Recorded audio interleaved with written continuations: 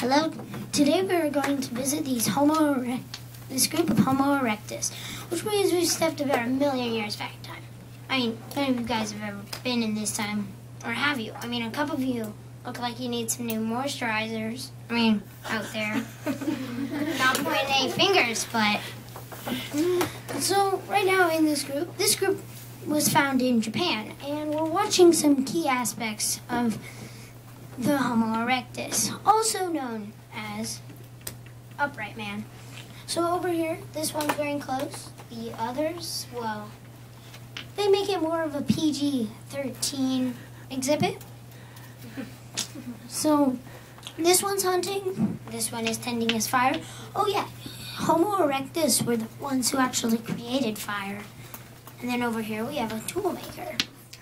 And so it looks like this one's caught something. As we can see here, he's got the fire and he takes it to be cooked, which is a very interesting thing they did.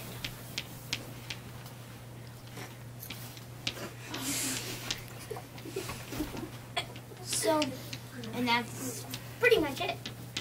See you next time. Hopefully. Hopefully.